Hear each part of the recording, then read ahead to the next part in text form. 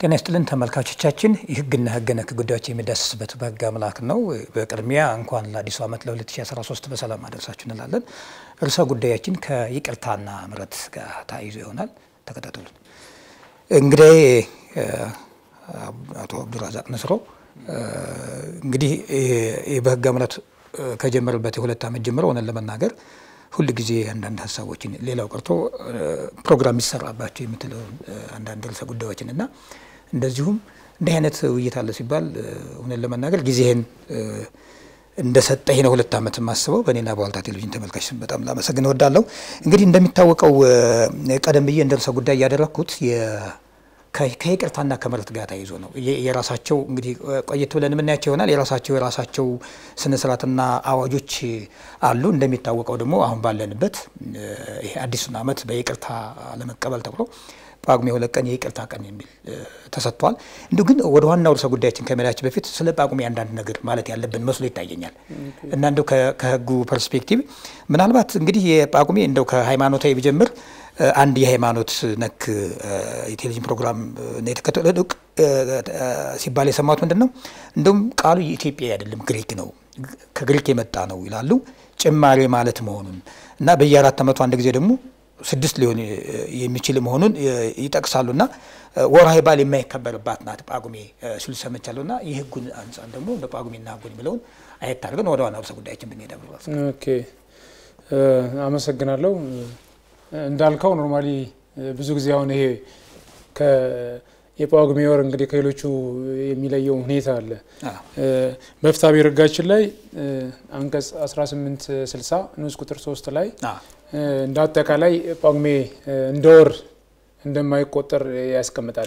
ነገር ግን እንዲሁ ዝም ብለን ስንገልጽ እንደ ሀገርም ስንገልጽ አሁን ለምሳሌ ኢትዮጵያን ስናስተዋውቅ በቱሪዝም ሴክተሩ ለምሳሌ ኢትዮጵያ የ13 ወር ጸጋ ይባላል እና አንዳንዴ እኔም እንትን አደርጋለሁ ማለት እንዴት ይሄ ግምት ውስጥ አልገባም የሚል ጥያቄ ለራሴ ይመጣልኛል። ምክንያቱም ከበፊትም ጊዜ ጀምሮ even የ13 ወር ጸጋ የሚለው ነገር እንደ ኢትዮጵያ አንደኛው ኢትዮጵያን ከሌላ ሀገር የሚለያት እንደውም ከሌላው ሀገር የሚለይበት በተለይም በቱሪዝም ሴክተሩ እንደ ማስታወቂያ የሰው ዘር መገኛ ልክ እንደሚለው ይሄ የ13 ወር የሚለው ነገር በብዛት በተለይም በቱሪዝም ሴክተሩ ይነሳል እና በህጉ ስትመጣ እንደ ወር እንደማይቆጠር የፍትሐ ብሔር ህጋችን 1860 ንዑስ ቁጥር 3 ከዛ በላይም በአንድ ጉዳይ ላይ አከራካሪ ሆኖ የፌዴራል ጠቅላይ ፍርድ ቤት ሰበር ሰሚ ችሎት ጳጉሜ normally እንደ ወር ሊቆጠር እንደማይችል ውሳኔ ነው ማለት ነው። መልካም። እንግዲህ አብዲ አንተም እንዳልከው ይሄ በነገራችን ላይ practically እኮ ለምሳሌ የሆነ ደብዳቤ ለመጻፍ ስታስብ ሁለት አስራ ሶስተኛ ወር እያልን እኮ ነው የምንጠቀመው።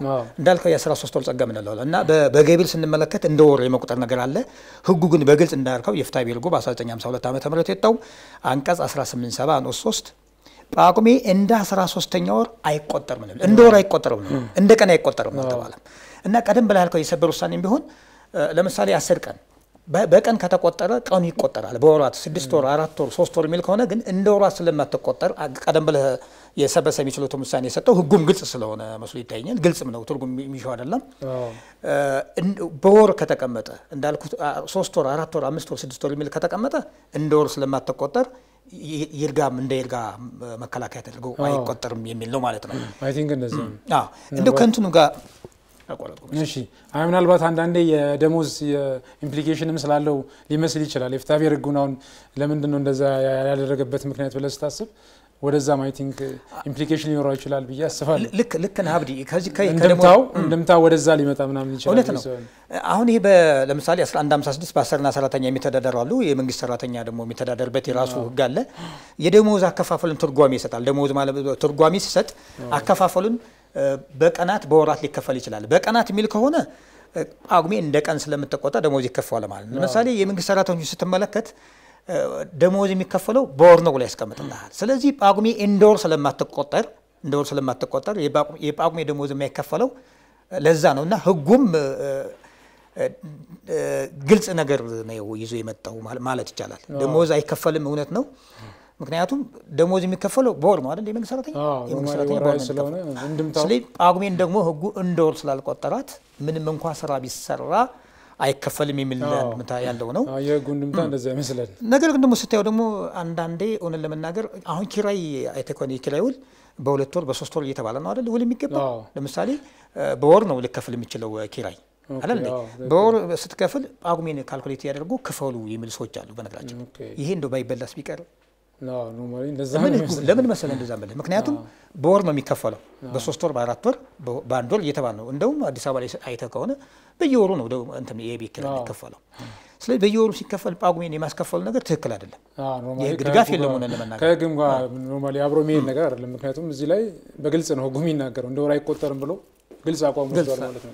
መልካም እንግዲህ ስለ ጳጉሜ ይህን ያህል መረጃ ከሰጠን አጠቃላይ ወደ ዋናው ርዕሰ ጉዳያችን ብንገባ በተለይ ይሄ ቀደም ብለን እንዳነሳነው ጳጉሜ ሁለት ቀን የይቅርታ ቀን ተብሎ አጠቃላይ officially በመንግስት ደረጃ ሚሊኒየም አዳራሽ ግልጽ የሆኑ ይቅርታዎች ሲደረጉ ነበር እና ከዛ ጋር ተያይዞ እኛም ምንድን ነው እንደው ይቅርታ የሚለውን ከህግ አንጻር ማየት ፈለግን። እንግዲህ በወንጀል ህጉም ከህገ መንግስትን ጀምረው ቆየት ብለን የምናየው ነው የሚሆነው ጀምረነዋል።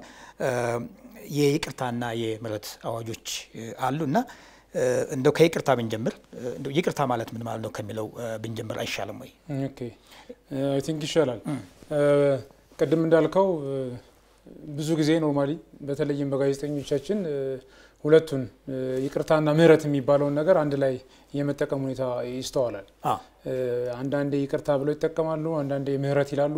ስለዚህ ሁለቱን interchangeably ነው አብዛኛው የምናየው በጋዜጣ ላይም በመጽሔቶችም በተለያየ ነገር ግን በህጉ ከወሰድነው እንግዲህ ይቅርታና ምህረት የራሳቸው የተለያዩ አዋጆች ያላቸው ናቸው እና በውጤታቸውም በሚሰጠው አካልን በሚመለከት ልዩነት አላቸው። ይቅርታም normally በምንወስድበት ጊዜ እንግዲህ በወንጀል ሂደት ውስጥ የወንጀል ምርመራ ከተጀመረ በኋላ ውሳኔ ይሰጣል። ስለዚህ ብዙ ጊዜ ይቅርታ የሚባለው ነገር በአዋጁም በይቅርታ አዋጅ በግልጽ እንደተቀመጠው normally የሚመጣው መቼ ነው? የቅጣት ፍርድ normally ከተሰጠ በኋላ ነው። ስለዚህ የቅጣት ፍርድ ከተሰጠ በኋላ አንድን ቅጣት በሙሉ ወይም በከፊል ቀሪ የሚያደርግ ነው ማለት ነው። ስለዚህ አንዳንዴ ሙሉ ለሙሉ ቀሪ ሊሆን ይችላል። አንዳንዴ ደግሞ በግማሽ የፍርድ ውሳኔ መጨረሻ ላይ የተሰጠው የቅጣት ፍርድ ውሳኔ ሊቀር ይችላል።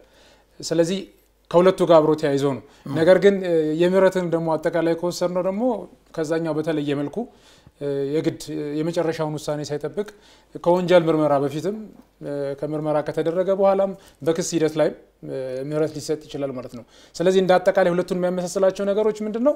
አንድን የወንጀል ድርጊት ወይም ደግሞ የወንጀል ውጤትን ቀሪ የሚያደርጉ መሆናቸው ናቸው። ሁለቱ አንድ ወንጀል ድርጊት ከተፈጸመ በኋላ ቀሪ ያደርጋሉ ማለት ነው። ግን በዋነኝነት ማን ነው የሚሰጠውም ላይ ማን ነው የመጨረሻውን ውሳኔ የሚሰጠው ከሚለው አንጻር አንድ ልዩነት አለ። ጊዜውን በተመለከተ ለምሳሌ ይቅርታ መቼ ነው የሚሰጠው፣ ምህረት መቼ ይሰጣል? ከሁለቱ ጋር በተያያዘ የህግ ልዩነት አለው ማለት ነው። ስለዚህ የይቅርታ አዋጃችን ላይ መጀመሪያ እንደውም 1996 ነበር የወጣው። ከዛ በኋላ ራሱን የቻለ ስነስርዓት አዋጅ ወጥቶለት አንቀጽ ሁለት ላይም በግልጽ ትርጓሜ ያስቀምጣል ማለት ነው። ይቅርታ ማለት ምን ማለት ነው የሚለውን ነገር ትርጓሜ ሰጥቶ አልፏል። አይዘር በሙሉ ወይም በከፊል አንድን የቅጣት ውሳኔ ቀሪ የሚደረግበት ሁኔታ ነው። መልካም እንደው አንተ እንዳልከው በዚህ በነገራችን ላይ ይቅርታና ምህረት ባልከው መልኩ ብዙ የመቀላቀሉ ነገር አለ ማለት ልዩነታቸውን በደንብ በግልጽ የመረዳት እና እንደውም አንድ አይነት አድርጎ የመውሰድ ቁጥር አለ። በነገራችን ላይ not only እንደው ከጋዜጠኞች እንደው ከሌላው ማህበረሰብ ብቻ ሳይሆን ከኛ ከባለሙያዎች ጭምር ይቅርታና ምህረትን በተወሰነ መልኩ የመቀላቀል ነገር ይታያል። በእርግጥ እንትኖችም pardon ና amnesty ነው የሚሉት በተወሰነ መልኩ የእንትን የሚል ነገር አለው እንደው የጋራ ሁኔታ ነው ላያቸው ሁለቱም ቀሪ ስለሚያደርጉ የጋራ የምትላቸው ነገር እውነት ነው። እዛ በወንጀል ሕጉ እንግዲህ በ1996 ዓመተ ምህረት የወጣው 229 እና 230 አጠቃላይ ይቅርታና ምህረት በሚል ሰፍሮ አለ።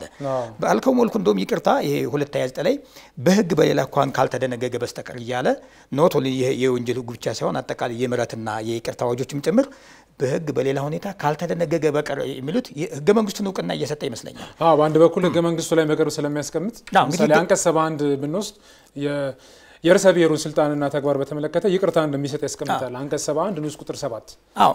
እነዚህ ነገሮች በህግ በሌላ እንኳን ካልተደነገገ በቀር እያሉ እውቅና የሚሰጡትም በህገ መንግስቱ አንቀጽ 28 ላይ ይሄ ሰዎችን ያለ ፍርድ መግደል፣ መሰወር፣ የኢሰብአዊ ድርጊቶች የፈጸሙ ሰዎች እነሱ ምሕረትና ይቅርታ አይደረግላቸውም የሚል ድንጋጌ አለና የወንጀል ህጉን በህግ በሌላ እንኳን ካልተደነገገ በቀር የሚሉት እነዚህ የይቅርታና ምሕረት አዋጆችም ይህንን በህግ በሌላ እንኳን ካልተደነገገ በቀር የሚሉት የህገ መንግስቱን አንቀጽ 28 እውቅና እየሰጠ አይመስልም? አዎ በአንድ በኩል በደንብ ነው የሚመስለው። ምክንያቱም እንትኑን ስታየው እንግዲህ እንደ ህግ ተዋረድ ከወሰድ ነው የመጀመሪያው የህጎች ሁሉ የበላይ አብዛኛው ነገር ከዛ ነው የመነጨው። ስለዚህ ህገ መንግስቱ ለምሳሌ የይቅርታን ቅድም እንዳልኩት አንቀጽ 71 ላይ የርዕሰ ብሔሩን ስልጣንና ተግባር ከዘረዘረ በኋላ ያስቀምጣል። ግን አጠቃላይ ሁኔታውን በተመለከተ በአዋጅ ነው ሊበረራ የሚችለው። አንቀጽ 28ም እንደዛ ነው። አንቀጽ 28 በዋነኝነት ይቅርታና ምህረት ሊሰጥባቸው የማይችሉ ሁኔታዎችን በተለይም በአራቱ ወንጀሎች ጋር በተያያዘ በግልጽ ያስቀምጣል ማለት ነው። ይሄ ብዙ ጊዜ ዓለም አቀፍ ድንጋጌዎች ናቸው። ይሄ በ International Bill of Rights እነኚህ ሰብአዊ መብት ጋር በተያያዘ normally ከፍርድ ቤት ውጭ የሚደረግ ግድያ፣ disappearance፣ ይሄ በተለይም ደግሞ torture፣ ይሄ ድብደባና የአካል ጉዳት ማድረስ በእነኚህ ጉዳዮች ላይ ተፈጻሚነት እንደሌለው የኛም 1089 2010 የወጣው የምህረት አዋጅ እንደገና ደግሞ 840 2006 ላይ የወጣው የይቅርታ አዋጅ በግልጽ ለእነኚህ ጉዳዮች ተፈጻሚነት እንደሌላቸው ያሳያል። አብዲ እንግዲህ እንዳልከው ያው የተለመደ ነው። በተለይ በአዲስ ዓመት በርካታ የሚባሉ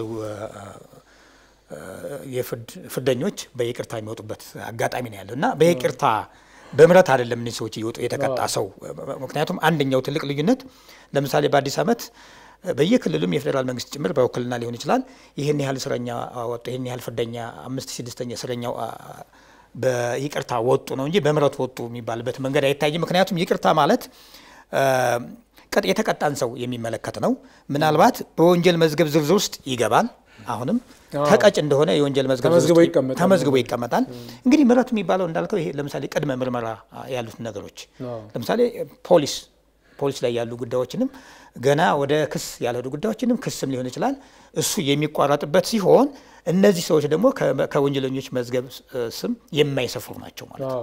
እንደ አጠቃላይ ማጠቃላይ ማለት እንደ አጠቃላይ ሁኔታ ስትወስደው ምንድን ነው ብዙ ጊዜ ምህረት የሚሰጠው አሁን በሌሎች ሀገሮችም experience አለ። አሁን የሆነ ሁኔታን ተመርኩዞ ነው። ለምሳሌ በአንድ ወቅት አስታውሳለሁ በሮናልድ ሬገን ጊዜ አሁን በብዛት ይጠቀሳል immigrant ለተባሉ በህገ ወጥ መንገድ ለገቡ ሰዎች ሁሉ ወደ ሶስት ሚሊዮን የሚደርሱ እንትን ተሰጥቷቸዋል። በቃ ህጋዊ ተደርገዋል።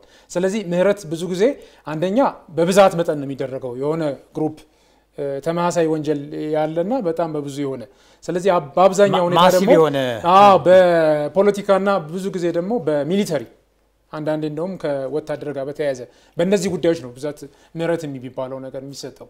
ግን ይቅርታን ስትለው ብዙ ጊዜ ከግለሰብ specific ም ይመስላል እንዳልከው በእኛ ሀገር በተለይም ከሚሊኒየም ጊዜ በኋላ በተለምዶ ብዙ ሰዎች በይቅርታ እንዲወጡ ይደረጋል። ተመልካቾቻችን ያ practice አለ። አሁን በተለይም ደግሞ በኮሮና ዘመን normally በቅርብ ጊዜ የምናስታውሰው ነው። የተለያዩ የክልል መንግስታትም ይሄን ይቅርታ እንትን ሰጥተዋል ማለት ነው። መልካም እንደው ተመልካቾች እንዲረዱት በማሰብ ነው። በተለይ ይቅርታና ምህረት ምንድን ነው ልዩነታቸው የሚሉን እንዲረዱት በማሰብ ነው አንዳንድ ምሳሌዎችን እየሰጠን ያለ ነው። ለምሳሌ በ1997 ዓ ም የቅንጅት አመራሮች የወጡት በይቅርታ ነው። ይቅርታ ፈርመው ነው። ምክንያቱም ተፈርዶባቸዋል። ግማሹ የሞት ፍርድ አላስታውስም፣ እድሜ ልክ ምናምን እነሱ ስላሉ እነዚህ ሰዎች የወጡት በይቅርታ ነው ማለት ነው። እንደው ከዚህ ጋር ተያይዞ በተለይ እንግዲህ በተለያየ መንገድ ሊሆን ይችላል። like ለምሳሌ የፍትህ ስርዓቱ corrupt ሆኖ ካልሆነ ደግሞ የ community pressure ግፊት፣ ለምሳሌ አንዳንድ በተደጋጋሚ አይተህ ከሆነ አስገድዶ መድፈር ላይ አንዳንድ community እንዲህ አይነት ቅጣት ሲሰጥ ይገደል ይሰቀል የሚል ነገር ሰልፎች አሉ። እነዚህ አይነት ነገሮች በዛ አይነት እንግዲህ ምናልባት አንዳንድ ሰዎች በሀሰት ፍርደኛ ሊሆን ይችላሉ። ለምሳሌ እንደሚታወቀው ብዙ ጊዜ የምንጠቅሰው አንድ ሰው በ X ን ገሏል ተብሎ ኤክስን ገሏል ተብሎ 25 ዓመት ተፈርዶበት የሞተው ሰው ከመጣ ይሄ ሰውዬ በእርግጥም በሀሰተኛ ማስረጃ በፎረንሲክ ሊሆን ይችላል፣ በሌሎች በሌሎች የሀሰት ፍርደኛ ነው ማለት ይቻላል። እና እንደውም ታስታውሳለህ አንድ ወቅት ክቡር ጠቅላይ ሚኒስትር ዶክተር አብይ አህመድ ያሉት ሀሳብ ነበር ከሁለት ዓመት በፊት። የሆነ ክልል ጠቅሰው ሰው ያልገደለውን ሰው ገሏል ተብሎ ያኛው ሞተ የተባለው ሰው መጣ ስለዚህ ምን ይደረግ ሲባል እንዴት ነው መፍትሄው ሲባል አይ እኛ የምናስርበት እንጂ የምንፈታበት ህግ የለም ብለዋሉ እያሉ አጠቃላይ ይመስለኛል ቀላል የማይባል እሳቤ ያለው በወንጀል ስነ ስርዓት ህግ review of judgment ወይም የተሰጠን ዳኝነት መከለስ የለም ሲሉ ነው እንግዲህ ሀሳባቸው። ይህን በቀጥታ እንደ ባለሙያ ባይጠቅሱትም ባለሙያም ስላልሆኑ ሀሳባቸው ግን አይመስልም። አዎ በደንብ ይመስላል። ምክንያቱም ብዙ ጊዜ እንደውም እንደውም አንዳንድ የሚገርመኝ ነገር ይናገራሉ። ለምሳሌ ብዙ ጊዜ ደረቁን ህግ ብቻ ሳይሆን በደረቁ ህግ ውስጥ ፍትህን ፈልጉ አሁን ብዙ ጊዜ ይህም አንዱ የሚጠቀስ ንግግር ነው። ብዙ ጊዜ ህጉን ብቻ ቀጥታ ከማስፈጸም በህግ ውስጥ ፍትህን የመፈለግ ሁኔታ ሁሌ እንደውም አንዳንዴ እንትኑን ለመግለጽ ነው። አሁን ያሉ ተቋማት 2010 ላይ ሲናገሩ ነበር የህግ ተቋማት እንጂ የፍትህ ተቋማት አይደሉም ብለው በግልጽም እንትኑን ሲናገሩ ነው። የህግ ተቋማት ነን ወይስ የፍትህ ተቋማት ናቸው የሚለውን ነገር በግልጽ ይህን ጥያቄ አንስተው ነበር። በእርግጥ እንትኑ ሊያከራክር ይችላል። ምናልባት በ civil law system በ common law system የምንላቸው ምን ያህል እንትን ነው የሚለው ነገር ግን ምናልባት በእኛ ሀገር አንዱ ክፍተት በተለይም የወንጀለኛ መቅጫ ስነስርዓት ህጉ ይህ አንድ ክፍተት ነው የነበረበት። ውሳኔ ከተሰጠ በኋላ የመጨረሻ ፍርድ ከተሰጠ በኋላ ሰውየው የሚወጣበት ለዛም ይመስላል እንትኑ የምናስርበት እንጂ የምንፈታበት ህግ የለንም። ስለዚህ በተሻሻለው ለምሳሌ ድራፍት አዋጁ ላይ በግልጽ ይህን ነገር ለማካተት ጥረት ያደረገ ይመስላል። እንደውም በሌላ በኩል ምንድነው በተግባር ምንድነው የሚደረገው በይቅርታ እንዲወጡ ነው። ምክንያቱም በአንዳንዴ እንደ ሁለተኛ በደል ነው የምትቆጥረው። በተለያየ ቅድም እንዳልከው በሀሰት ምስክር አሁን የሀሰት ምስክር ፍርድ ቤት በጣም ያስቸገረ ጉዳይ ነው። በጣም moral value በጣም እየቀነሰ ምናምን ስለመጣ መጨረሻ ላይ ግን ምንድን ነው የሚደረገው በይቅርታ ይቅርታ ጠይቅ ተብሎ ነው። ይቅርታ ግን እንደ ሰው የሆነ ስታስበው በጣም ከፍተኛ እንትን ነው። ምክንያቱም አስር ዓመትም ስምንት ዓመትም በስህተት ያንን እስራት ወስዶ ሊሆን ይችላል። ከዛ በኋላ ግን ይሄ አዋጅ ራሱ ሲወጣ በ1996 በግሌ ጠይቄም ለማረጋገጥ እንደቻልኩት አንዱ የወጣበት ምክንያት ምንድን ነው? እሺ በይቅርታ የሚወጡ ከሆነ ያንን የሚያስቀምጥ አዋጅ የለንም። በ96 ዓመተ ምህረት 395 ሲወጣ አንዱ ታሳቢ ያደረገው ይሄን ነው የነበረው። ስለዚህ detail የሆነ comprehensive የሆነ የይቅርታ ስነስርዓት አዋጅ ከሌለ በምን ያንም ተረክ ይሄ ነገር ግን ከወጣ በኋላ በተለይም ቅድም እንዳልከው ከቅንጅት አመራሮች ጋር በተያያዘ ትልቅ አስተዋጽኦ ያደረገ አዋጅ ነው። ነገር ግን በዋነኝነት አዋጁ ሲወጣ የነበረው ለዚህ ዓላማ ነበረ። ምክንያቱም በምን መንገድ በምን መንገድ የምንፈታው ምክንያቱም በአንድ በኩል እንደ civil law system የ civil law system የሚከተሉ ሀገራት ኢትዮጵያ። ስለዚህ እያንዳንዱ ዳኛው ሁሉም ነገሩ በህግ መመርኮዝ አለበት። ለምሳሌ የ common law system ብትወስደው ይሄ judicial activism የምንለው አለ። judicial activism የምንለው አንዳንዴ ከህግም ወጥቶ ዳኛው ለፍትህ ሲባል የሆነ ነገር ሊያደርግ ይችላል። ነገር ግን የሲቪል ስርዓት የሚከተሉ ሀገሮች ሁሉም ነገር ለምሳሌ ብዙ ጊዜ የሚነሳው አለ የሞራል ካሳ የሞራል ካሳውን በፍትሐ ብሔር ጉዳይ በጣም ይተቻል። ምክንያቱም በቅርብ በቅርብ ራሱ የሰበር ውሳኔዎች ላይ አንድ ሺህ ብር የተሰጠበት ሁኔታ አለ። ግን ዳኛው ምን ማድረግ ይችላል? ለምሳሌ አንድ ሺህ ብር በ1952 ላይ በጣም ብዙ ስለነበረ አሁን 200 ሺህ ብር ይሁንለት ማለት አይችልም። ግን ያውቀዋል እንትን አለመሆኑ ህጉ ውስጥ ካልተሻሻለ ማለት ነው። ስለዚህ ይሄ ምናልባት review of judgment ያልከውም ከዚህ ጋር አብሮ የተያያዘ ነው። ስለዚህ ከዚህ ጋር በተያያዘ ነው ይሄ ይቅርታ አዋጅ አንዱ ምክንያት ህጉ እንዲወጣ ራሱን የቻለ አዋጅ ይቅርታ ጠይቆ ሰውየው በዚህ እንዲወጣ እንግዲህ የምልህ ይሄ የሀሰት ፍርደኞች የሚባሉ ሰዎች በይቅርታ እንዲወጡ ሲደረግ በነገራችን ላይ ሁለት ቅጣት ነው ማለት ይቻላል። አንደኛ ምንም ባልሰራው ነገር ላይ ይቅርታ ፈርመህ ነው የምትወጣው። ሁለተኛ ምንም ባልሰሩት በደል እንግዲህ 10 ዓመት 15 ዓመት እንደውም እስከ 20 ዓመት ድረስ እኮ ማረሚያ ቤት የቆዩ ሰዎች ነገር ግን እስከ መጨረሻ ታውቆ ማለት ነው። ለምሳሌ ገደለ ተብሎ 20 ዓመት ወይም 15 16 ዓመት ላይ ሊመጣ ይችላል እና በደሉ ዞሮ ዞሮ ሁለት ነው። አሁን ምናልባት የተረቀቀ የወንጀል ስነስርዓት ህግ እሱ review of judgment ወይም ዳኝነትን የመከለስ ነገር በግልጽ ሀሰተኛ መረጃ ተሰጥቶ ከሆነ እንደዚህ የሚሉ ነገር ልክ እንደ ፍትሐ ስነስርዓት ህጉ ይዛ ተካቷል። እሱ እንግዲህ በቅርብ የሚጸደቅ ነው የሚሆነው። ችግሩም አይ ቲንክ አቀፍ መሆኑ የምትረዳው አሁን October two እንደ ዓለም አቀፍ እንደ United Nation ይሄ በስህተት ፍርድ ያገኙ normally ያለ የታሰሩ ሰዎችን በተመለከተ ይከበራል ማለት ነው። ስለዚህ እንትኑ ሲታይ ይህ ዓለም አቀፋዊ ነው። በተለይም በጣም በሰለጠኑ ሀገራት እንኳን እንደዛ ተደርጎ ነው ያንን እውቅና ለመስጠት October two እንግዲህ እነሱ ነገሮች እንደ ወደ ሌላ ያስገባናል ነው እንጂ ለምሳሌ በይቅርታ ያወጡ ሰዎች ለምንድን ነው መንግስትን ካሳ የማይጠይቁ ሲባል እነዚህ በተለይ የዓለም አቀፍ የሰብአዊ መብትን የሚመለከቱ እኛም ኢትዮጵያ ህግ አካል ያደረግናቸው በሚገባ በድንጋጌ መልክ ጠቅሰዋል ማለት ካሳ መጠየቅ እንደሚችል እሱ የተለመደ አይደለም። ዞሮ ዞሮ ግን አሁን ይሄ በዚህ የምንመለከተው አይደለም። I think ርዕሰ ጉዳያችን ይወጣል። የሆነ ሆኖ ግን በግልጽ ያስቀምጣል። አሁን በተካተተው አሁን በተካተተው ባለው አንቀጽ ካሳ መንግስት እንደሚከፍል ግልጽ የሆነ የህግ ድንጋጌ ገብቷል። የመጨረሻው ድንጋጌ ላይ ምናልባት እኛ ሀገር ብዙ ጊዜ ክርክር ሊነሳ ይችላል። አፈጻጸሙን ይመስላል እንደ ትልቅ ጥያቄ ሊነሳ ይችላል። ነገር ግን እንደ ህግ ድንጋጌ ገብቷል። hopefully እሱ ይጸድቃል ብዬ ልክ እንደው ምናልባት መደበኛውን የፍትሐ ብሔር ህግ አጠቃላይ ከውጭ ኃላፊነትን እሱ መጠቀም ይቻላል ወይስ አይቻልም? መንግስት ለምንድን ነው በህግ የማይጠየቀው? ሲጀመር ህጉም ግልጽ ነው። ማለት ከውል ውጭ ኃላፊነት የሚባሉ ድንጋጌዎች አሉና 1952 ከወጣው ከፍትሐ ብሔር ህግ ለምንድን ነው በሱ ማንጠቀም የሚሉ ነገሮች አሉ። ዞሮ ዞሮ ግን ከ criminal እንደምታው ከ criminal justice policy ውም ላይ የተካተተ ነገር ነበረው። ይመስለኛል። የፍትሐ ብሔር ስነስርዓት ህጉም የወንጀል ስነስርዓት ህጉም አሁን ሲረቅ ከ criminal justice policy ወስደዋል ማለት ነው የሚቻለው። እንደ ቀደም ብለን ስታነሳው ነበር ይሄ ሁለቱም ይቅርታ ምሕረትም ሲደረግ የካሳና ኪሳራ ጉዳይ ግን አብሮ የሚቀር አይደለም። ማለት ያ ሰው በፍትሐ ብሔር ያለውን ጉዳዮች መጠየቅ ይችላል መጠየቅ ይችላል ነው። መልካም እስኪ መሟላት ያለባቸውን ብንመለከት እንደው ምናልባት በሁለቱም ላይ ይቅርታ ጠያቂ እንደው የሚያቀርበው ማን ነው የሚለውን አሁን ለምሳሌ በስምንት አርባ ላይ ታራሚው ራሱ ሊያቀርበው ይችላል። ጠበቃው ያቀርበዋል። በቅርብ ዘመድ ያቀርበዋል። ቅርብ ዘመድ የሚባል እንግዲህ በወኪልም ሁሉ ሊቀርብ ይችላል። የይቅርታ ጥያቄ ያቀራረው ማለት ነው። ምናልባት የእንትኑ የምሕረቱ የተለየ አቀራረብ ቢኖረው ወይስ ተመሳሳይ ነው? አይ normally እንትኑን ማለት ቅድም እንዳልከው በግልጽ ነው እንትኑን የሚያስቀምጠው ማለት ማን ነው። እንደውም ይሄ ነገር በአንድ ወቅት በጣም አከራካሪ ነበር። አሁን ቅድሙ ላይ ሰውየው ራሱ ባለቤቱ፣ የቅርብ ዘመዱ፣ ወኪሉ እንደገና ደግሞ የይቅርታ አዋጁ ላይ ለማረሚያ ቤትም ባይዘ ወይ ለማረሚያ ቤትም ስልጣን ሰጥቶታል። ማረሚያ ቤት ይቅርታ የሚደረግላቸውን ሰዎች ዘርዝሮ ሊያቀርብ ይችላል። ለምሳሌ ለይቅርታ ቦርድ ማለት ነው።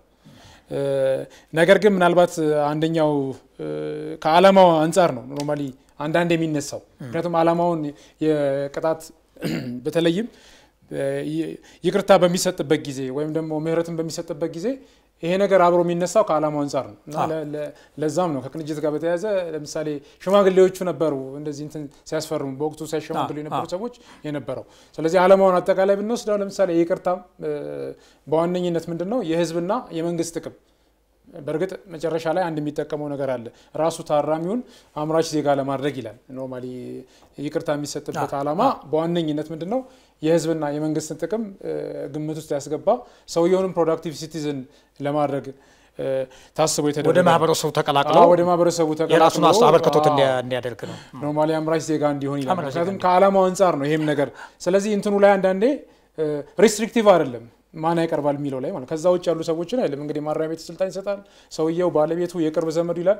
እንግዲህ አንዳንዴ ለማሸማገል በእኛ ሀገርም ለምሳሌ ቀድም እንዳልኩት በሽምግልና እንትን የሚያደርጉ ሰዎች ክሌም የሚያደርጉ ይችላል። እንትኑ አይከለክልም ማለት ነው።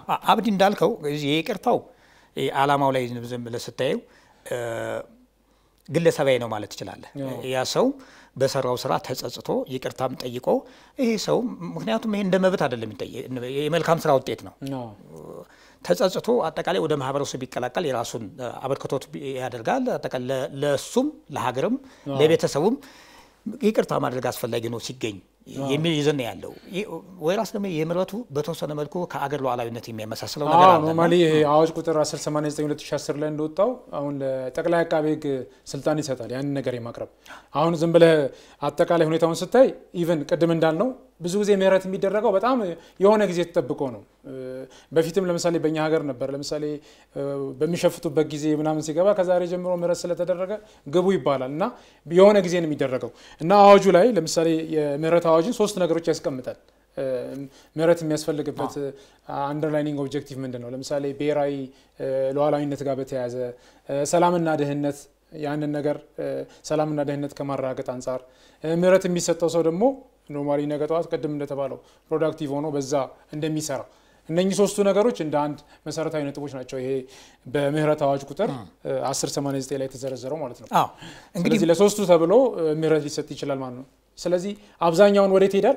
ወደ ጠቅላይ አቃቤ ሕግ ነው። ቅድም ለምሳሌ ስንወስደው የይቅርታ ቦርድን በተመለከተ ተጠሪነቱ ለፕሬዚዳንት ነው። ብዙ ጊዜ ቦርዱና ፕሬዚዳንቱ ነው የሀገሪቷ ርዕሰ ብሔር involve የሚያደርጉት። የምህረትን ስንወስደው ግን ለምሳሌ የምህረት ቦርድ ተጠሪነቱ ለጠቅላይ ሚኒስተር ነው የተደረገው። ተጠሪነቱም ለጠቅላይ ሚኒስተር ነው የተደረገው። ስለዚህ በዋነኝነትም የቦርዱም ሰብሳቢ ሆኖ በእርግጥ እዛኛው ላይ involve ያደርጋል። ጠቅላይ አቃቤ ሕጉ mandate ተሰጥቶታል ማለት ነው። ሀገራዊ በሆኑ ጉዳዮች ላይ ምህረት ሊሰጥ እንደሚችል የምህረት አዋጁ ያስቀምጣል። አብዲ እንዳልከው እንግዲህ የህገ መንግስቱ አንቀጽ ሰባ አንድ የፕሬዚዳንቱ ስልጣንና ተግባር የሚል ንዑስ ሰባት ላይ እንግዲህ በህግ መሰረት ይቅርታ ያደርጋል ነው። ስለዚህ ይቅርታ የሚያደርገው የርዕሰ ብሔሩ ወይም ፕሬዚዳንት ነው። ያኛው ምህረትን በሚመለከት ደግሞ አዎ አሁን አንደኛው መሰረታዊ ልዩነት የሚባለው ይሄ ነው። በእኛም ሀገር ብቻ ሳይሆን በ jurisprudence ኡም በህግ አጠቃላይ በህግ ሳይንሱ በህግ ሳይንሱም ሲወሰድ ብዙ ብዙ ጊዜ ምህረት የሚሰጠው ህግ አውጪው አካል ነው የሚሰጠው legislative organ የምንለው ህግ አውጪው ፓርላማው ማለት ነው። ይሄኛው ግን ብዙ ጊዜ ይቅርታን የሚሰጠው አካል ማለት ነው ህግ አስፈጻሚ አካል ነው። ስለዚህ በህጋችን ላይ በግልጽ ወደ ማለት የምህረት ቦርዱ ከቀረበ በኋላ መጨረሻ ላይ ጠቅላይ ሚኒስትሩ ካቢኖችም ከተወያዩበት በኋላ የማጽደቅ ስልጣን የህዝብ ተወካዮች ምክር ቤት ነው። ስለዚህ ምህረት ከተሰጠ በኋላ የመጨረሻ ስልጣን የህዝብ ተወካዮች ምክር ቤት ይሆናል ማለት ነው። በይቅርታ ጉዳይ ላይ ግን የመጨረሻው normally የይቅርታ ቦርድ አለ 11 አባላት ያሉት እነሱ ከተወያዩት በኋላ ለፕሬዚዳንቱ ያቀርባሉ። ፕሬዚዳንቷ ደግሞ ለምሳሌ የመጨረሻውን ውሳኔ ይሰጣሉ ማለት ነው። ህገ መንግስቱ ላይ አንቀጽ 71 ንዑስ ቁጥር 7 ላይ እንዳለው ማለት ነው። ስለዚህ በይቅርታና በምህረት መካከል አንደኛው ከልዩነቶች ለማንሳት ሞክረናል። ከተነሱት አንደኛው ወይም መነሳት ካለባቸው አንደኛው አሰጣጥ መንገድ ነው። ይቅርታን በፕሬዚዳንት ነው መጨረሻ የመጨረሻ ውሳኔ የሚሰጥበት። ይቅርታው ተገቢነት አለ ወይ ተገቢነት የለውም ብሎ የሚሰጡበት። ምህረትን በሚመለከት ደግሞ አጠቃላይ ቀደም ብለን እንዳለው ከሀገር ሉዓላዊነት ከብሔራዊ እርቅና የሚመሳሰል በመሆኑ ፓርላማ ያ ከሰላምና ደህንነት የሚያዝ በመሆኑ ፓርላማ ነው የሚያጸድቀው። መጨረሻው የህዝብ ተወካዮች ምክር ቤት ስልጣን ነው። በጣም ጥሩ። ምናልባት እንትኖችን precondition መስፈርቶች ለምሳሌ ለይቅርታ አሰጣጥ ከግምት ውስጥ መግባት ያለባቸው ሁኔታዎች በአንቀጽ ሀያ ተዘርዝሮ እናገኛለን። ስምንት አርባ ላይ ማለት ነው። ምናልባት የወንጀሉ ክብደትና ቅለት ይታያል። ይቅርታ ጠያቂው በማረሚያ ቤት ጊዜ የቆየበት ጊዜ ይታያል። አጠቃላይ በማረሚያ ቤት ሲቆይ ደግሞ የሚያደርገው ልማታዊ አስተዋጽኦ ሊታይ ይችላል። የሰውየው ባህሪና ባህሪ ጸባይ normally። ስለዚህ ዝም ብለህ አጠቃላይ ስትወስዳቸው በሶስት ዋና ዋና ነው። በአንድ በኩል ከወንጀሉ ምን አይነት ወንጀል ነው ወንጀሉን ተከትሎ ያጋጠሙ ነገሮች የወንጀሉ ክብደት የሚለው አንድ ነው። ሁለተኛው ደግሞ ከግለሰቡ ጋር ይያያዛል። ግለሰቡ ለምሳሌ የጤናውን ሁኔታ፣ የእድሜን ሁኔታ አሁን ለምሳሌ በተጨባጭ በተግባር ምንድን ነው አንዳንዴ በእድሜ ምክንያት እድሜያቸው ከፍ ያሉ ሰዎች የሚሰጥበት ሁኔታ አለ። ምክንያቱም ከሰውየው ጋር ሌላኛው ደግሞ ሰውየው ደግሞ ያንን ድርጊት ካደረገ በኋላ ያንን ነገር ማመን መጸጸት እነኚህ ነገሮች እንደ አንድ መስፈርት ያስቀምጣል። ያንን ነገር ማሳየቱን አንዳንዴ ደግሞ ተጎጂዎች ሊኖሩ ስለሚችሉ ለነሱ ካሳ መፈጸም አንዳንድ ነገሮችን ማድረግ እነኝን presuppose ያደርጋል ማለት ነው። ያንን ነገር መደረግ እንዳለበት አንቀጽ ሀያ ላይ በግልጽ ነው የሚያስቀምጠው ማለት ነው። ምናልባት የተለየ ያለው ምህረትን በሚመለከት አጠቃላይ precondition ኦቹ አዎ normally በእርግጥ መግቢያው ላይ ለመጥቀስ ተሞክሯል። አጠቃላይ ለብሔራዊ እርቅ፣ ለሀገር ሉዓላዊነት የሚል ነገር ከዓላማው ተነስቷል። ምናልባት ከዓላማው በመነሳት አዎ normally ዓላማውን ዝም ብለህ ስታየውን አዋጅ ቁጥር 1089 የምህረት አሰጣጥ አዋጅ ላይ ያስቀምጣል። ቅድም ያልናቸው ሶስት ዋና ዋና ነገሮች ግን አሉ። በቃ underlining objective ዓላማው ለምንድን ነው ሲባል አንደኛ ብሔራዊ ሰላምና ደህንነት ከማረጋገጥ አንጻር ያንን ነገር ማድረግ ለምሳሌ ምህረት መስጠት እንደ ሀገር ብሔራዊ ደህንነትና ሰላምን ያረጋግጣል ሲባል አንደኛው ነው። ሌላኛው ለምሳሌ የተደረገው ወንጀል normally ከብሔራዊ አሁንም ከሉዓላዊነት ከ sovereignty ከምንለው ያንን ለማስከበር ሲባል ሊሰጥ ይችላል።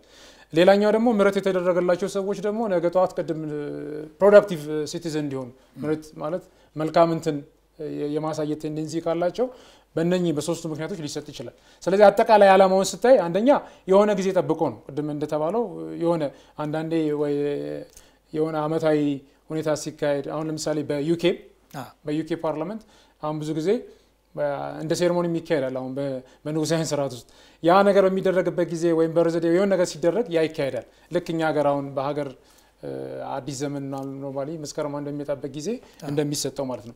ስለዚህ ታሳቢ የሚያደርገው ቅድም ያልናቸው ሶስቱን መሰረታዊ ነጥቦች እንደሆነ ያስቀምጣል የምህረት አዋጁ ላይ ማለት ነው። እንግዲህ እንዳልከው አጠቃላይ ከዓላማቸው በመነሳት የይቅርታ ዓላማ እንደዚህ ሶስት ላይ የተጠቀሰ ነገር የህዝብ የመንግስትና የታራሚዎችን ጥቅም ለማስጠበቅ ሲባል ሶስት ነው የሚያስቀምጠው። ምናልባት እንደው አንተም ቀደም እንዳልከው የምህረቱ አዋጅ የተወሰነ ጠንከር ያለ ነገር አለው። የሀገር ሉዓላዊነት ሲባል ቀላል ነገር አይደለም። እሱን አሁን ብናሰምርበት ትልቅ ነጥብ ነው። እንደው ከህግነቱ አጠቃላይ ወደ ሀገር ፖለቲካም የሄደ ዝንባሌ ያለው ያለው አዋጅ መስሎ ነው የሚታየው። ዋይ ለምክር ቤቱም ለህግ አውጭም የተሰጠው ለዛው ነው የመጨረሻ ስልጣን የተሰጠው ለ- ለተወካዮች ምክር ቤት የተደረገው። እጅግ አንገብጋቢ መሆኑን ምክንያቱም ይሄንን ነገር አንደኛ ከመግቢያው ትረዳለህ፣ ሁለተኛ እነኚህ condition ኦቹ የሚታዩት ነጥቦች ማለት ጥቅሙ ምንድን ነው ብሎ በደንብ እንትን አድርጎ ነው ማለት ይሄ ነገር በብዛት የሚደረገው። በእርግጥ ሁለቱም እንደዚህ አይነት መንፈስ አላቸው ማለት ያንን ነገር ማድረግ ይቅርታ ማድረግ ወይም ምህረት ማድረግ ለአጠቃላይ ጥቅሙ ነው። በእርግጥ ይሄ ከወንጀል ተግባር ጋር የሚያዝ ነው አይደለም። ብዙ ጊዜ ወንጀል ተግባር የግለሰብ ጉዳይ አይደለም፣ normally የአብዛኛው የማህበረሰብ ጥያቄ ነው። ነገር ግን ይሄኛው ላይ መግቢያው ላይም አንቀጹን ስታየው አጠቃላይ የሀገሪቷን ጥቅም ምህረት በመሰጠቱ ሰላምና ደህንነትን ከማረጋገጥ አንጻር የተሻለ ከሆነ የሀገር ሉዓላዊነትን ከማስጠበቅ አኳያ የተሻለ ከሆነ በእነኚህ ምክንያቶች ምህረት ሊሰጥ እንደሚችል የምህረት አዋጅ ቁጥር 1089 ያስቀምጣል ማለት ነው። መልካም እስኪ እንደው ምናልባት ይዘቱን ብንመለከት አንቀጽ 16 ላይ ስምንት አርባ ላይ ተዘርዝሮ ያለ ይመስለኛል የይቅርታ ጥይቅ ጥያቄ ይዘት አንድ ለሶስት ተብለው ተዘርዝረው የተቀመጡ ነጥቦች አሉበትና የተወሰኑትን አንድ ለሶስቱ ምን እንደሚሉ ብንመለከት ይዘቱን አንቀጽ 16 ላይ የተጠቀሰ ምናልባት ቅድም ካለው በአንድ በኩል ተመሳሳይነትም አለ። አንደኛ ከግለሰቡ ጋር የተያዘው ነው። ለምሳሌ አጠቃላይ ወንጀል ላይ የሰውየውን ስም አጠቃላይ አድራሻውን እኛ እንደ አንድ ነገር አለ። ሁለተኛው ደግሞ ለምሳሌ የተፈጸመው ወንጀል ምንድን ነው? ምክንያቱም ቅድም እንዳልነው በህገ መንግስታችን አንቀጽ 28 ላይ ይቅርታ የማያሰጡ ነገሮች አሉ። በምህረት አዋጁ ላይ ያንን ነገር ይከለክላል እና ስለዚህ አንደኛው የሚሰጥበትን ምክንያት ይላል። ለምሳሌ አንደኛው ለምንድን ነው ይቅርታ መስጠት ያስፈለገው ለምንድን ነው? ያንን ጥያቄ አንድ ግምት ውስጥ ያስገባል። አጠቃላይ የሰውየ ሁኔታ ኖርማሊ እንደ አንድ እንትን የሚታይ ነው። በተለይም ደግሞ ከካሳ አሁን አንዳንዴ ምንድን ነው የካሳ ጉዳዮች ካለ ሰውየው ያንን ነገር መክፈሉን ያን ክፍያ መፈጸሙን እ፣ በማረሚያ ቤት ውስጥ ብዙ ጊዜ በማረሚያ ቤት ውስጥ አንዳንዴ ምንድን ነው ልክ እንደ በአንድ በኩል ከአመክሮ ጋር የሚመሳሰል ነገር አለው። ማረሚያ ቤት ውስጥ እያለ ሲያሳይ የነበረው ባህሪ normally እንዴት ነው react ሲያደርግ የነበረው? ምክንያቱም እንትኑ ላይ አንቀጽ 16 ላይ ይሄንን በዋነኝነት ያስቀምጣል። ውሳኔ የተሰጠበትን ጊዜ እንትን ያደርጋል። ግን ትልቁ ዋናው ነገር ምንድን ነው ከምክንያቱ ጋር የሚያያዘው ለምን ዓላማ ነው የሚለው ነገር ነው እዚህ ላይም። ስለዚህ ከሰውየው ጋር የሚያያዝ ነው። ቅድም እንዳልነው አሁን በሰውየው ጤና ምክንያት ያለበት የጤና ሁኔታ ወይም ደግሞ በሰውየው በጣም ከፍተኛ እድሜ ምክንያት እነኚህ የግለሰባዊ ሁኔታዎች እና የጠባይና የአጠቃላይ ሁኔታ እንደ አንድ የሚታዩ ናቸው ማለት ነው። የሚሰጥበትን ምክንያትም ጥያቄ ልክ ነህ አብዲ። እዚህ አንቀጽ እንዳልከው የይቅርታ ጥያቄ ይዘቱ በጣም ጥሩ ሀሳብ ብዬ የማስበው አንተም እንዳነሳው የሚጠየቀውን ካሳ ወይ ኪሳራ የመክፈል ነገር መጸጸትን የሚያመለክት ነው። ያንን አምኖ መጸጸቱን እንደውም ከሱ ድንጋጌው ላይ ያን ደግሞ ካሳውን መክፈል የማይችሉ ሰዎች ደግሞ መክፈል የማይችሉ መሆናቸውን የማስረጃ ሊያቀርቡ ይችላሉ። ለምሳሌ መክፈል የማይችሉ አቅም የሌላቸው ከሆኑ ያንን ሁሉ ማሳየት ያስፈልጋል። ያን ሁሉ ማሳየት አለበት። እያለው አለመክፈል ግን ይቅርታ ላይ ያሰጥ ይችላል። ዝም ብላ አይተው ከሆነ አንዳንድ ጊዜ በግድያ ገና ቀድሞ እኮ ይህን ስለሚያስቡ በእርግጥ እንደ ሕጉንም በማሰብ ሳይሆን አጠቃላይ ካላቸው ምልህ አስተዳደግ ርኅራሄ ሊሆን ይችላል። ለምሳሌ ቀጣት ላይ ሰው ለአጋጣሚ ገለው ከሆነ የነሱ ዋጋ የሚባል ነገር ገና ቀድመው ይከፍላሉ። በነገራችን ላይ ገና ምርመራ እያለ ሳይቀጡ ማለት ነው። ኋላ ላይ ምህረት ለማድረግን ጠቃሚ ነጥብ ነው ለማለት አንደኛው ወሳኝ ነጥብ ነው። እንግዲህ የሚቀርብበት ጊዜ የሚልም ድንጋጌ ያለው እሱ አንደኛው የምናነሳው ነጥብ ነው። ብዙ ጊዜ አንዱ እንደውም? በአብዛኛው ማህበረሰብ የማይታወቀው ይሄ ነው። ይቅርታ መቼ ነው የሚቀርበው፣ ምህረት መቼ ነው የሚቀርበው የሚለው ነገር በግልጽ መታወቅ አለበት። ጊዜ ወሳኝ ነው። ጊዜውን በተመለከተ አሁን በአንድ በኩል እንግዲህ የይቅርታ ሁኔታ ብንወስድ የመጨረሻ ውሳኔን ይጠብቃል። ስለዚህ የቅጣት ፍርድ መስጠት አለበት። sentence የምንለው የመጨረሻ ፍርድ ሊሰጥ ይገባል። ከሱ በኋላ ሊቀርብ ይችላል። አንዳንዴ ደግሞ ቀርቦ ለምሳሌ ሊከለከል ይችላል። ቅድም እንዳልነው መስፈርቶቹን ባለመሟላቱ አንድ ሰው ይቅርታ ላይሰጠው ይችላል። ከተከለከለበት ጊዜ normally እሱን እንደ ስድስት ወር ያስቀምጣል ማለት ነው። ግን አንዳንዴ ደግሞ ምንድነው ይቅርታ በግማሽ ሊሰጥ ይችላል። እሱ በግማሽ ከተሰጠበት ደግሞ ከአንድ ዓመት ከተሰጠበት ጊዜ ጀምሮ ከአንድ ዓመት በኋላ ብሎ ያስቀምጣል። ስለዚህ በሶስት መንገድ ነው የይቅርታን የሚያስቀምጠው ማለት ነው። ስለዚህ በዋነኝነት ግን ማወቅ ያለብን ምንድን ነው የቅጣት ፍርድ መተላለፍ መሰጠት አለበት። እንደ አጠቃላይ የእንትን ስንወስድ ግን የምህረትን ከዚህ ይለያል። አንደኛውም መሰረታዊ ልዩነቱ ይሄ ነው። ለምሳሌ በወንጀል ምርመራ ላይ ገና ገና ሳይጀመር ሊሆን ይችላል የሆነ እንትን ሆኖ ወንጀል ምርመራ ላይ ያለ በክስ ሂደት ላይ ያለ ተጠርጥረው ተይዘው እያለ ምርመራ እየተካሄደ ክስ normal እየተካሄደ እያለ ሊሆን ይችላል። መጨረሻ ላይም even ውሳኔም ተሰጥቶ ሊሆን ይችላል። ለውሳኔም ተቀጥሮ ሊሆን ይችላል። ለውሳኔም ተቀጥሮ ሊሆን ይችላል።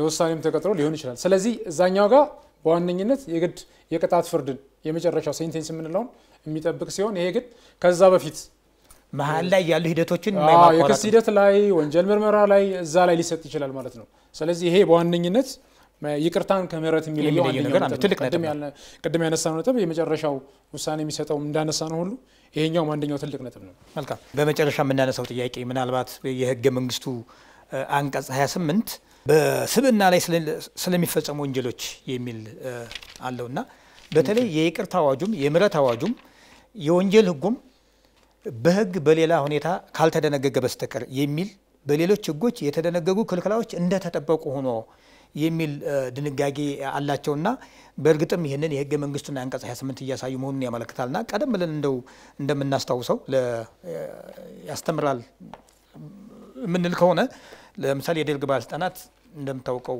እ፣ በ28 የህገ መንግስቱ አንቀጽ 28 ጋር የሚያያዝ ነገር ነው ያለው። የሰው ዘር ማጥፋት ነው የተከሰሱት። ያለ ፍርድ የሞት ቅጣት እርምጃ ዝም ብለህ መረሸን የሚባለው ቋንቋ ይመስለኛል። summary execution የሚለው ሰዎች በአስገዳጅ ሰውን መሰወር። ኢሰብአዊ የድብደባ ድርጊቶችን እንግዲህ በፈጽ torture የሚለው እንግዲህ በዓለም አቀፍ ህጎች የሚያውቅና የተሰጠው ነው። ኮንቬንሽንም አለ ስለዚህ እነዚህ ነገሮች በይርጋ የማይታገዱ በምህረትና በይቅርታም የማይታገዱ ናቸው። አዎ ይሄንን በተመለከተ ሁለቱም አቋም ወስደዋል ማለት ነው። አዎ፣ እንግዲህ ታስታውስ ከሆነ ያኔ ስለ የሞት ፍርድም የተፈረደባቸው ነበር። አዎ ከስድስት ከሰባት ዓመት በፊት ነው እንግዲህ የወጡትና የሆኑ ጥያቄዎች ነበሩ። okay ያን ያህል እንደ parole የምንለውን ምንድን ነው አመክሮ አመክሮንስ እንደው ማሰብ ያስፈልጋል ወይ? በወቅቱ እንግዲህ ይሄ ነገር በጣም ሲያከራክር ነበር። ይሄ ለምሳሌ ይሄ genocide የምንለው እንደውም even ኋላ ነው ከሱ የተቀየረው። በቅንጅት አመራሮች ላይ አንዱ ሲጠቀስ የነበረ ነው። ይሄ ነገር ጥሩ አይደለም ምናምን ተብለው በዓለም አቀፍ ሁኔታም በጣም ከፍተኛ ትችትና በጣም አደገኛ እንትን ስለነበረ አንቀጹን ምክንያቱም አንደኛ ነገ ጠዋት ይህንን ነገር ለማድረግ ይከ- ይከለከላል። ስለዚህ መጨረሻ ላይ ተካሄደው ምንድነው አንቀጹን የመቀየር ነው። መጨረሻ ላይ ምክንያቱም ያ የሞት ፍርደኛውን ወደ ማለት የሞት ፍርድ ከተሰጠ በኋላ ወደ እድሜ ልክ ወደ እድሜ ልክ እድሜ ልክ ከሆነ ደግሞ አንድ ሰው ሀያ ዓመት በስርዓት ላይ ከቆየ አመክሮ ሊሰጠው ይገባል። አጠቃላይ ቅጣቱ 30 ይሆናል። የ30 ሁለት ሶስተኛ ካልኩሌት ሲደረግ 20 ዓመት ይመጣል። 20 ዓመት ነው እንግዲህ የደርግ ባለስልጣናት ሀያ ዓመት የመጡት። 20 ከታሰሩ በኋላ 20 ነው። ሀያ ዓመት ከታሰሩ በኋላ ይሄ ነገር በአንድ በኩል እናስታውሳለን። በታምራት ላይ ጉዳይ ላይም እንደዛ ነው ታምራት ላይ 18 ዓመት ነበር የተፈረደበት። 18 ልክ 12 ዓመት እንደጨረሰ ነው አንድ ሶስተኛውን ስታሰላው ልክ 12ኛ ዓመት ላይ ነው በአመክሮ እንዲፈታ የተደረገው በአመክሮ ነው የተፈታው። ምክንያቱም 12ኛ ዓመት ላይ ነው እንትን የተደረገው። ምክንያቱም 18 ዓመት ነው ፍርድ ቤቱ የመጨረሻ ውሳኔ የሰጠበት 18 ዓመት ፍርድ ነው የተሰጠው። አዎ። ስለዚህ 18ቱን አመክሮ ስታሰላው 12ኛ ዓመት ላይ ነው ልክ እንደ ማናቸውም እንትን እንትን ግን ትልቁ ክርክር የነበረው ለነገሩ እኮ አንዳንዴ overlap ሊያደርጉ ይችላሉ። ምን ሶስት ቀን አራት ቀን ሲቀርህ አንተ እንደውም የሆነ ነገር ሰምቼ ነበር።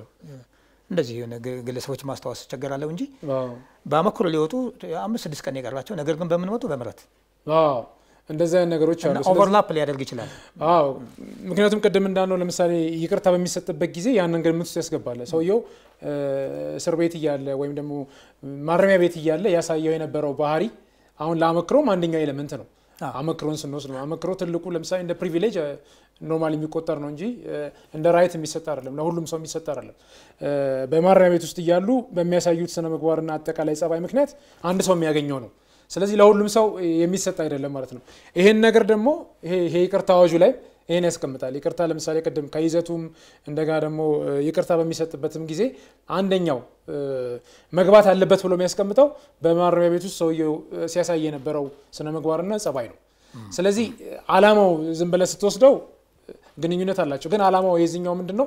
በማረሚያ ቤት ውስጥ ሳሉ የተሻለ ባህሪ ጥሩ ባህሪ እንዲያሳዩና እነኛን ሰዎች ደግሞ promote ለማድረግ ለማበረታት የሚደረግ ሁኔታ ይመስላል። እንግዲህ እንዳልከው ይሄ parole በተለይ አመክሮ ወደ እና መሰየም የሚባሉት አጠቃላይ መሰየም መልካም ስሜ እንደዚህ የመመለስ እንትኖች የመልካም ፍሬ ውጤት እንጂ ዝም ብለህ እንደ privilege እንደ መብት የምጠይቃቸው ነገሮች አይደሉም።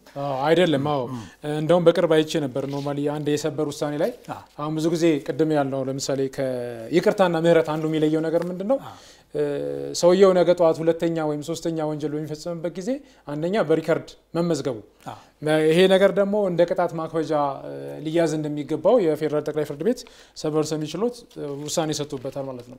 ስለዚህ ምህረት ከሆነ አጠቃላይ የነበረውን ከአሁን በፊት የነበረውን ነገር መዝገቡን አጠቃላይ የነበረ የወንጀልኛ record የምንለውን እንዳለ የሚሰርዝና የሚያጠፋ ነው። ነገር ግን ይቅርታ ግን ከሆነ ተመዝግበው ስለሚቆይ ሰውየው ምክንያቱም እንደ ክርክር ያቀረበው ምንድን ነው already ጨርሻለሁ ስለዚህ በይቅርታ ስለተፈታው ይሄ ነገር እንደ ማክበጃ እንደ ቅጣት ማክበጃ ሊቀርብብኝ አይገባም ብሎ ነው እስከ ጠቅላይ ፍርድ ቤት እስከ ሰበር ሰሚ ድረስ የደረሰው። መጨረሻ ላይ ግን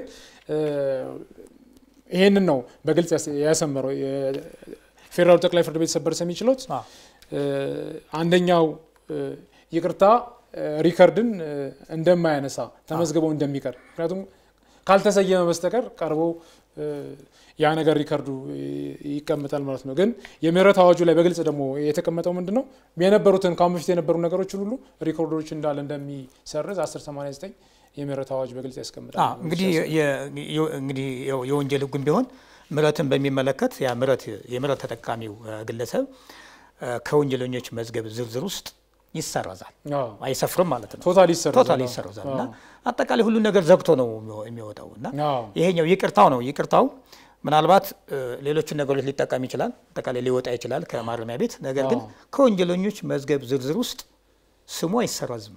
በ record ነት ተመዝግበው ነው ተመዝግበው ይመዘገባል። እንደውም እንትኑ ላይ አዋጁ ላይ በግልጽ እንደሚያስቀምጠው አንዳንዴ እኮ ይቅርታ even በ condition ም ሊሰጥ ይችላል። በሁኔታ ላይ አሁን ብዙ ጊዜ በሁኔታ ላይ ተመሰረተ። ይሄ ብዙ ጊዜ ምንድን ነው ከዓለም አቀፍ ወንጀሎች ለምሳሌ ከ human trafficking ህገወጥ የሰዎች ዝውውር ምንድን ነው? ይሄ ከ drug ጋር በተያያዘ እነኚህ ሰዎች በተደጋጋሚ ስለሚገኙ ያን ነገር አላደርግም ብለው ያስፈርማሉ normally። ስለዚህ ያን ነገር ድጋሚ አድርገው ከተገኘ ለምሳሌ በአንድ ወቅት የተሰጠ ይቅርታ ለዘላለም እንደማይቆይ ሊነሳ እንደሚችል ያንን ያስቀምጣል። አሁን የይቅርታ አዋጁ አንዱ የሚያስቀምጠው ነገር ይሄ ነው። በእርግጥ ይሄ ነገር በ pardon አዋጁ ማለት በምህረት አዋጁ ላይ በግልጽ አለ። ምህረት አዋጁ ላይ ምህረት አዋጅ በሁኔታ ላይ የተመሰረተ ሊሰጥ ይችላል፣ ልክ እንደ ይቅርታ ማለት ነው። ስለዚህ በዚህ ረገድ ተመሳሳይነትም አላቸው።